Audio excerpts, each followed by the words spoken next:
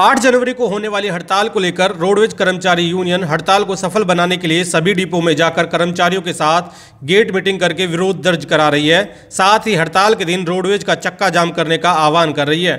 मंगलवार को Rewari workshop depot में सभी कर्मचारियों ने सरकार के खिलाफ हुंकार भरी और कहा कि किलोमीटर स्कीम को पूरी तरह से बंद करके सरकार हर वर्ष 2000 बसें रोडवेज़ के बेड़े में शामिल करे।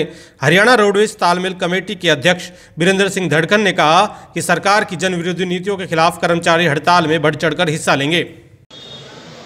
आठ जनवरी 2020 को केंद्रीय ट्रेड यूनियनों के आह्वान पर होने वाली आम हड़ताल हरियाणा प्रदेश के अंदर हरियाणा रोडवेज़ का पूर्ण रूप से चक्का जाम रहेगा।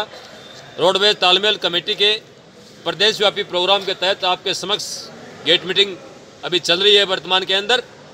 केंद्र और राज्य सरकार की कर्मचारी जनविरोधी एवं आम जनता के खिलाफ जो नीतियाँ हैं, उनको लेकर के इस राष्ट्रव्यापी हड़ताल के अंदर हरियाणा प्रदेश का कर्मचारी चाहे वो परिवहन विभाग का है, दूसरे विभाग हैं, पूर्ण रूप से हम उसमें आवती डालेंगे।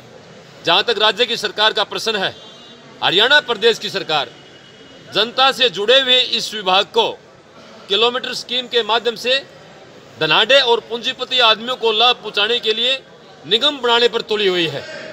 सरकार की विजिलेंस ब्यूरो द्वारा यदि किलोमीटर स्कीम लागू हो जाती तो प्रदेश के राजस्व को हज़ारों करोड़ रुपए का आर्थिक रूप से नुकसान होता। राजस्व को नुकसान पहुँचाने का किसी को भी अधिकार नहीं है। हमारी राज्य सरकार से रोडवेज़ तालमेल कमेटी की रोडवेज़ के कर्मचारी की प्रबल अविलंब मांग है कि वो किलोमीटर स्कीम को सिरे से रद्द करते हुए परिवहन विभाग में प्रत्येक वर्ष 2000 सरकारी गाड़ियाँ जोड़ते हुए इसकी संख्या 14000 तक बढ़ाए और जो उस समय के विभाग के उच्च अधिकारी हैं या राजनीतिक स्तर पर आदमी हैं या बोलीदाता हैं, जिन्होंने किलोमीटर स्कीम के घपले को अंजाम दिया था, कड़ा संज्ञान लिया जाए।